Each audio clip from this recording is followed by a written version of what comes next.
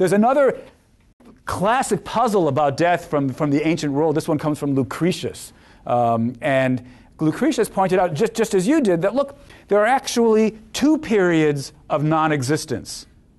There's the one that happens after death, and there's the one that happens before you're born. If the post life period is so bad, Lucretius says, because you don't exist, by consistency, you would have to say that the pre birth period is bad too. If being upset at the post life one made sense, you ought to be upset at the pre, at the fact that there was this eternity that you were never born yet. But nobody's upset at the eternity that they were never born, at the fact that there was this eternity when you didn't exist. And so, Lucretius concluded, it doesn't make sense to be upset about the post life eternity either.